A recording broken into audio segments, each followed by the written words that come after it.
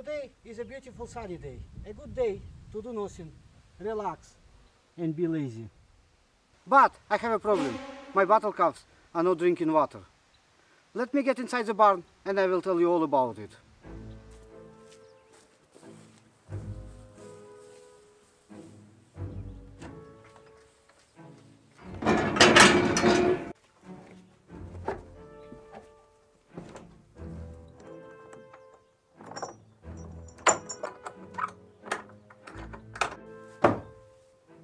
For some reason, those guys don't want to drink water from this bathtub.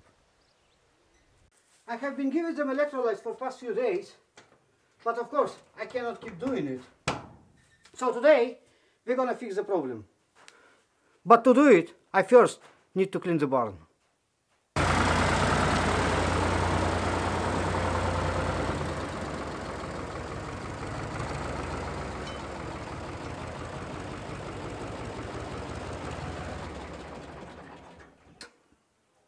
So the plan is to clean the barn and move the bus stop from outside to inside the barn.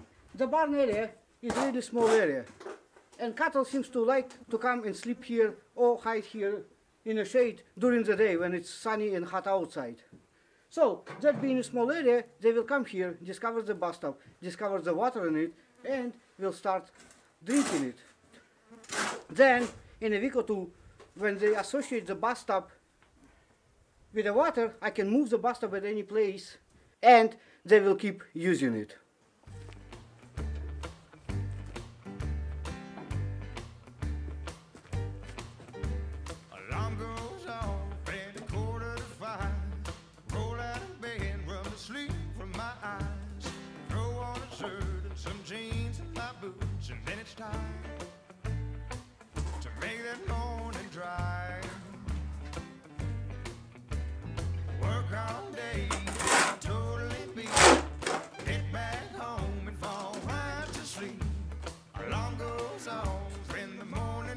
Cycle's complete. Work, repeat.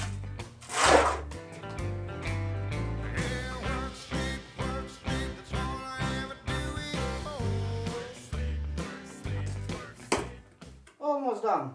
Just a little bit in the corner here. I know, it may not look like that in the video, but I've been going at it for almost four hours now.